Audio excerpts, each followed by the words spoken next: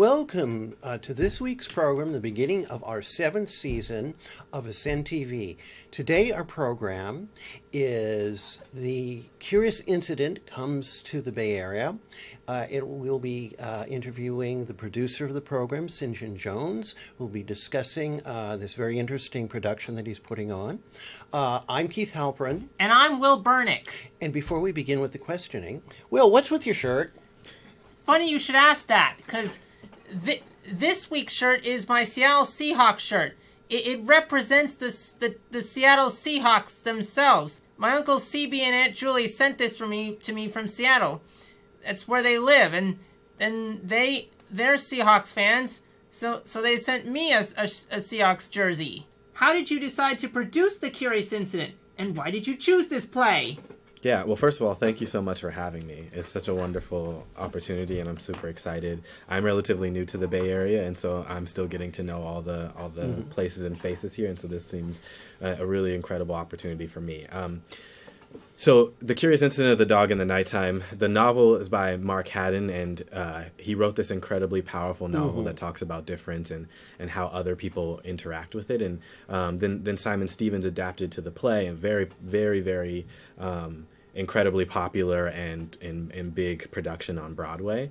Um, one of the things that that our director Melinda in, in her proposal, her name is Melinda Marks, um, and one of the things was really important to her was that she wanted to tell the story in a way that was small, intimate, and accessible um, because a lot of the Broadway productions and the regional productions, mm-hmm. the touring productions, really try to be really big about it. It tackles an issue that I think is is imperatively important, which is this idea of, of how do people in our lives handle difference.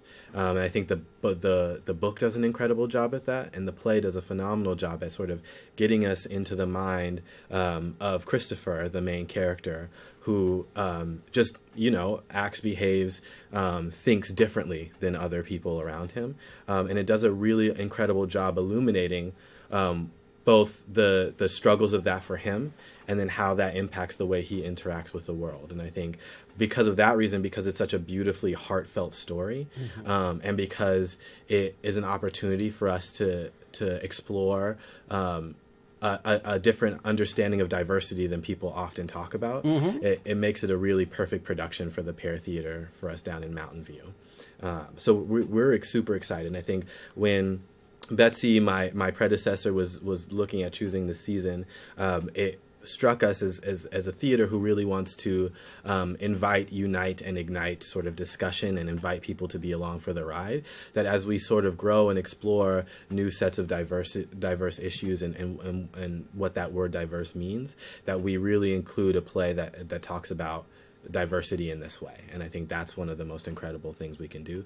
Not to mention, it's just an awesome play. It's mm-hmm. really funny. It's really engaging, and it's just an enjoyable thing to experience. You know. Tell us about tell us about what the tell us about what the curious incident is about. Yeah, absolutely. Um, so for so people who have read the book will will be um, familiar with this story, mm-hmm. but not in exactly the same way. Um, the story of the play uh, we start with Christopher, um, who's the main character. He's a 15 year old, um, and he, although it's not mentioned um, explicitly in either the book or the play, um, he sort of uh, exhibits what sort of um, behavior that would be uh, typically associated with with Asperger's syndrome on the autism spectrum, um, and he is standing over the the body of this dog um, and it's his neighbor's dog. And people come upon him in the nighttime. Curious incident mm-hmm. of the dog in the nighttime, um, and he's sort of uh, he's accused of killing this dog, and and um, Christopher is obviously 100% certain that he did not do this, um, and so the first act becomes this incredible mystery of Christopher deciding I need to find out who did this, and I will stop at nothing to figure out and solve this mystery. Uh, and then the second act becomes sort of the fallout of his discovery of um, who actually committed this crime and also um, what that unlocks um, about his story and his life. And so, without ruining too much, it mm-hmm. really is an adventure that Christopher goes on and sort of finding out more about his life and his family, um, and then how to interact with a larger world. Because I think um, Christopher has lived a life in this town, and um, he gets to explore. It takes place in, in um, the United Kingdom. He gets to explore London in in uh, extreme amount of detail, which mm-hmm. is really exciting. So it's really this mystery of like who killed this dog and then beyond that, this larger mystery of like, what are the things that Christopher doesn't know about his family, and how does he go about finding those things? Um, and as a human being, uh, Christopher is, and he says this very directly, very honest. He never lies, mm-hmm. um, and he always is interested in, in what the truth is, no matter what the consequences of that are. And so it's a really fascinating story of how this this this this boy, this teenager, goes about finding the truth of this situation, no matter what, because he's very dedicated to, to finding the truth, whatever whatever the truth might be. Who portrays Christopher, the main character? Is this actor is this actor on the autism spectrum? It's a great question. So um, the actor that plays uh, Christopher is his name is Henry Alper. Um, he is an incredible uh, young man who sort of just sort of is bursting onto the Bay Area theater scene. Um, the he he is not, to my knowledge, on the autism spectrum. I think we we are in this curious uh, so the our director Melinda Marks is um, is on the autism spectrum, recently mm. diagnosed, um, and is sort of uh, in her proposal as a as as a as when she was proposing to direct this show, she sort of talked about her experience, and, and I've talked about what she's interested in having me share and not share, and I think um, as a part of her proposal, I think she's interested in exploring that um, this idea of of uh, what it means to be different um, and what it means to explore those those those um, what it means to be neurodivergent and, and, and what it means to be on the autism spectrum because she's sort of in the beginning stages of what that looks like for her.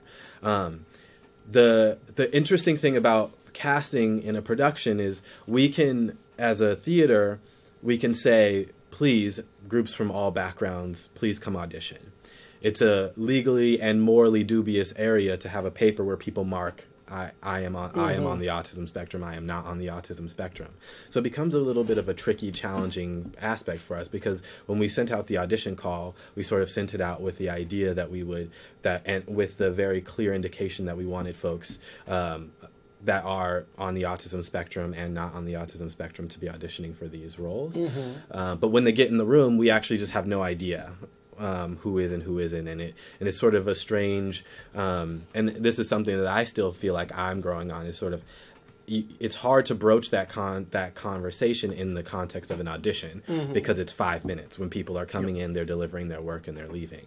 Um, and I think, especially because the the the um, the book and the the script are both really clear about exploring difference in broad terms.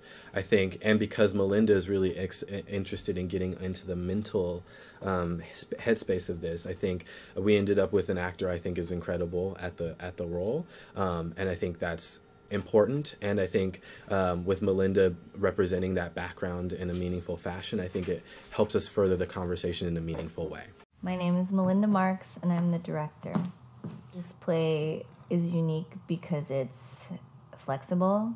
Um, it allows for a degree of flexibility that we can play with um, with space and time and rules. It's kind of nonlinear. It moves from person to person really quickly, and it's basically the story of a story. So you have a lot of flexibility in how you tell that story.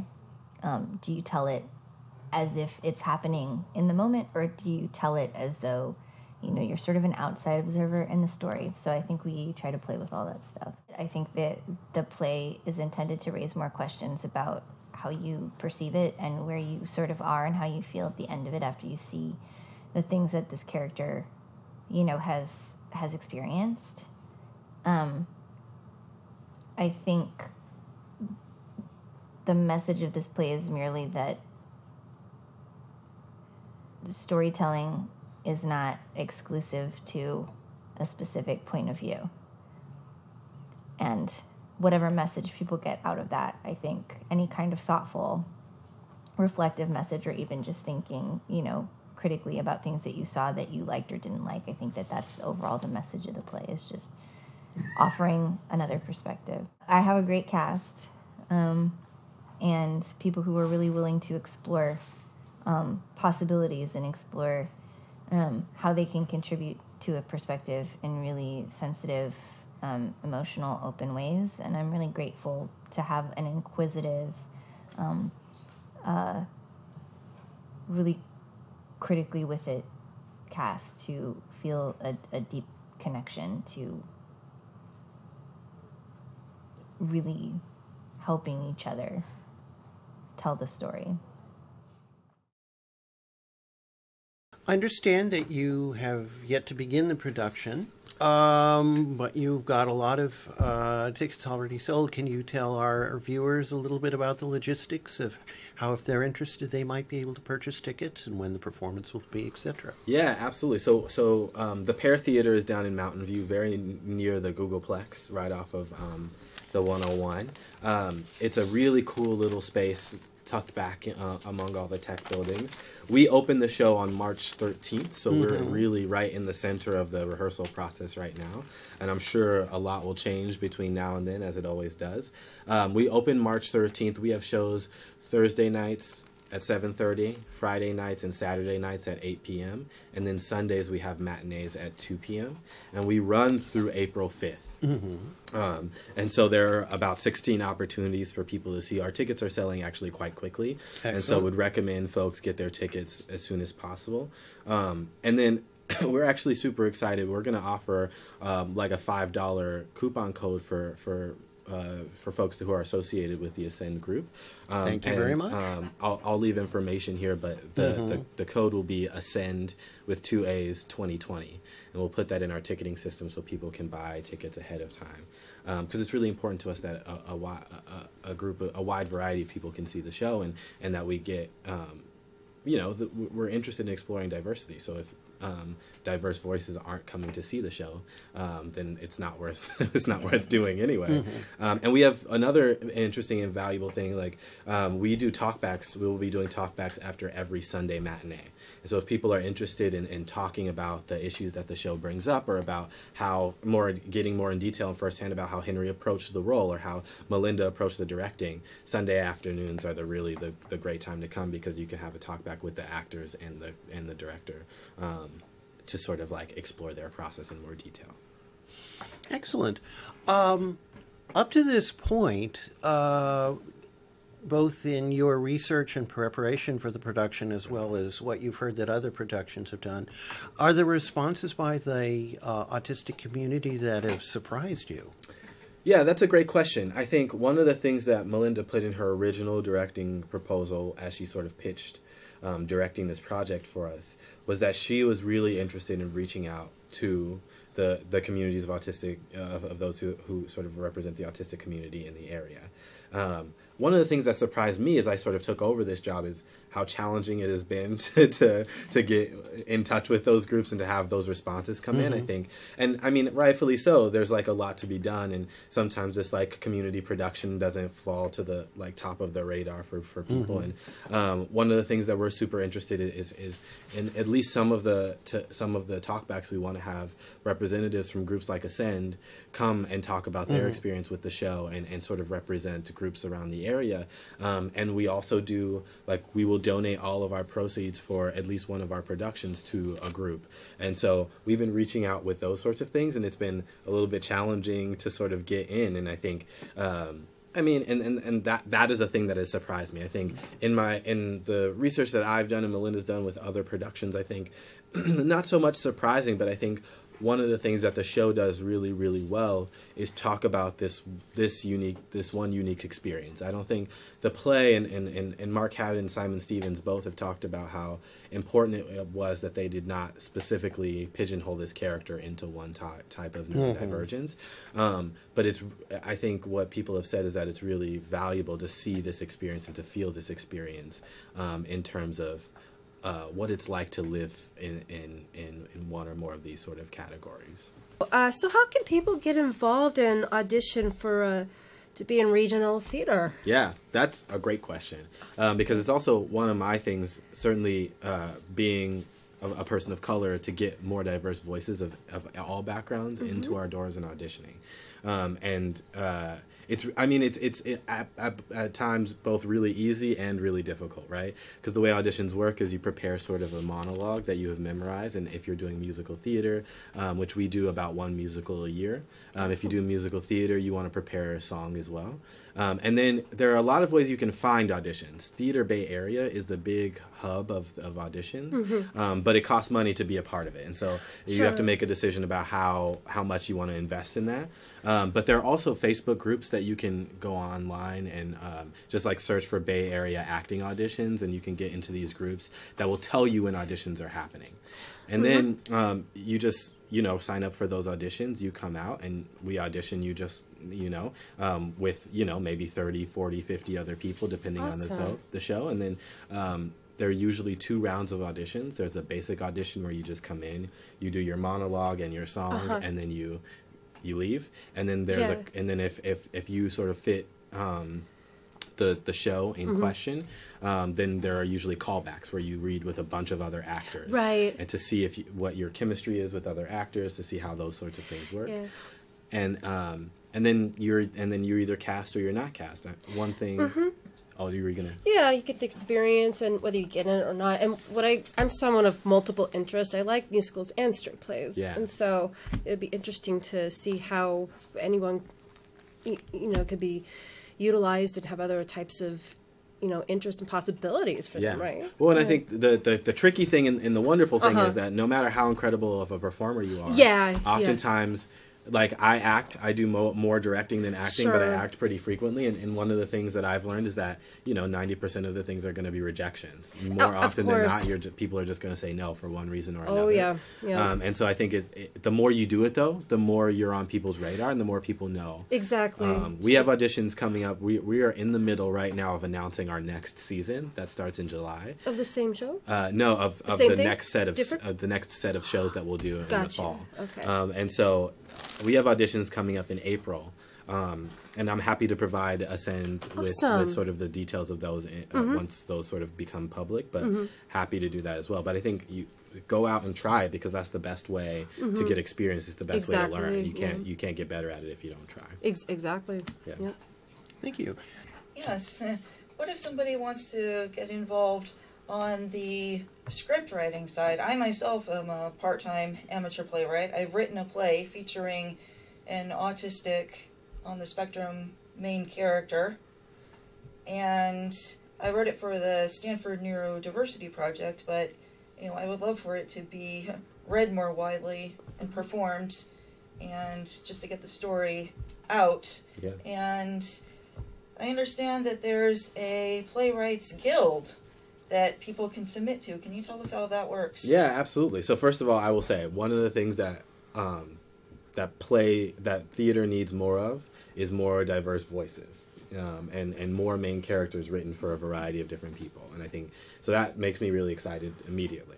Um, we do have a playwrights guild. There are a, a bunch of playwrights groups around. I think sometimes they're a little bit insular, so it's a, it takes a little bit of time to get involved in them. So the Pear started a playwrights guild sort of very near when the Pear started, um, and that would be like s- 15, 16, 17 years ago. Um, the play the the Pear theater our, our next season is our 19th year, and I think the playwrights guild started 17 years ago or something like that. Um, and it's a group of writers that get together. They meet every two weeks um, and they uh, read each other's work. And, and we have opportunities at the Pear to get your work read out loud in full production form and in short play form, um, and, and, and with readings. What Uh, is the and so, between full production and short play? Is it just yeah, length? so yeah, so so we do full production. We do like a fully staged production of ten minute plays. We do staged readings, so like readings out loud of full length plays. Um, and the player Pear playwrights guild can submit their plays to me for consideration as a part of our season. Um, in order to so to submit what the playwrights guild how the playwrights guild work is um, writers like yourself submit writing to the group via our website thepear.org um, and then at least two writers from the playwrights guild read that writing and then they sort of decide if you are going to become a part of the Pear playwrights guild Yeah. So I can I say- go to that website and submit my play? Yep, you can go right now. What I will say is that mo- all of the members who are in there now, uh, of all of them, every one of them except for one have had to submit more than one piece of work before they got in. In fact, many of them have submitted four or five plays before they've gotten accepted into the guild. And so the idea is if you are passionate about writing, obvi- and look, I'm in a master's program for writing right now. I love writing. Oh, congratulations. Um, thank school? you. Uh, it's Regis University in Colorado. I just moved here recently from Colorado, and it's a, uh low residency program. Um, and so I go back there a few times a year to do stuff. But uh, it takes it's all about the practice of it, right? And as with any group, um, it's you might not get in the first time, you might not get in the second time, but it's about continuing to produce work and continuing to to, to go see theater so that you can get a perspective on on what makes good good plays, and then uh, submitting the work as it gets better. Um, and, and once you're in the Playwrights Guild, uh, there's a, a, a ton of really cool opportunities um, uh, for for getting 10 minute plays um, and full length plays sort of read in front of people so that you can continue to grow as a writer. Thank you. We'll now hear from Jennifer uh, Brooks, our book correspondent. Thank you, Keith. So, as some of you may already know, the Stanford Neurodiversity Project is presenting a conference on March 21st. It will be held on the Stanford University campus in Palo Alto. For more information, you can go to the website of the Stanford Neurodiversity Project, click through a couple of links, and it will tell you all about it. And Speaking of conferences, my book review today will focus on some books that have come out of conferences or that relate to the upcoming conference.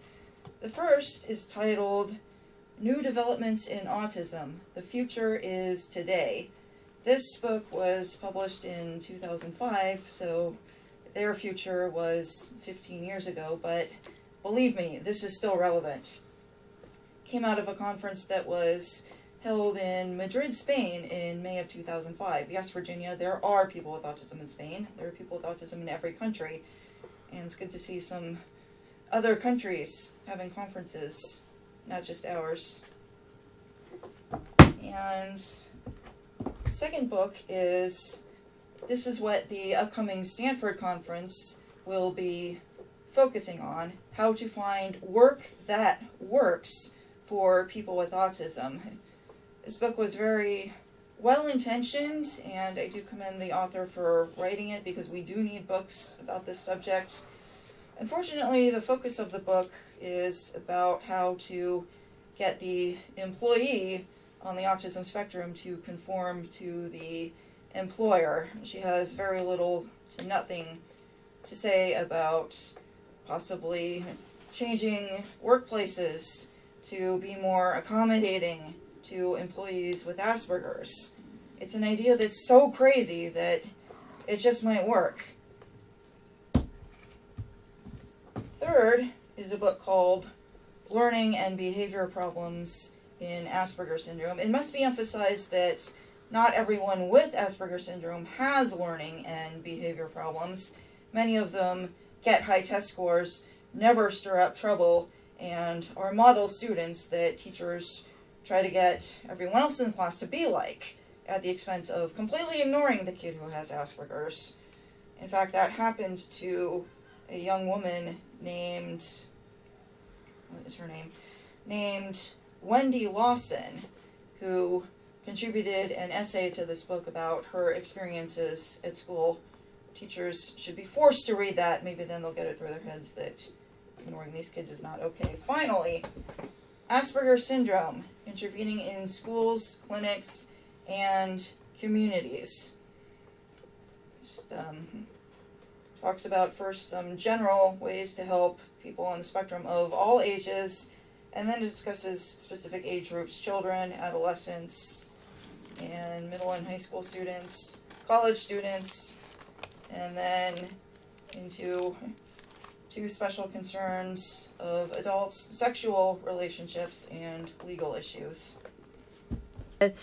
There is a uh, going to be a sensory friendly film on uh, February 29th, Saturday. Um, Sonic the Hedgehog. Go see it.